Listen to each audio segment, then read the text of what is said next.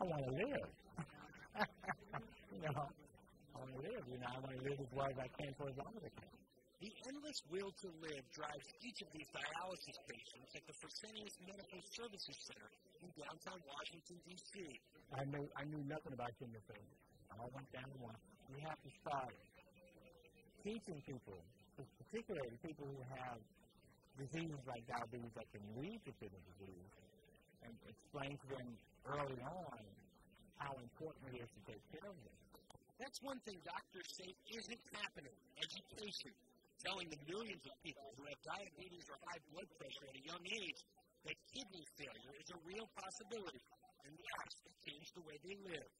Dr. Ann Thompson should know. She's on the front lines trying to treat some of the 400,000 Americans who are on dialysis.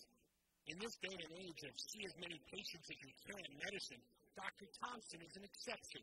She sits down and talks with each of her patients.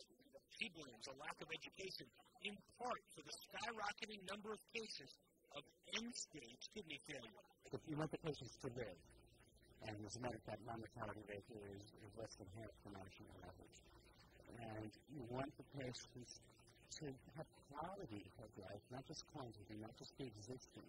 You want them to be able to go out and enjoy the rest of their lives. You see, most dialysis patients nationwide are on Medicare, and therein, patient advocates say, lies another problem the dollars and cents of it all. Caregivers warning Medicare isn't providing the what's necessary to continue this level of care.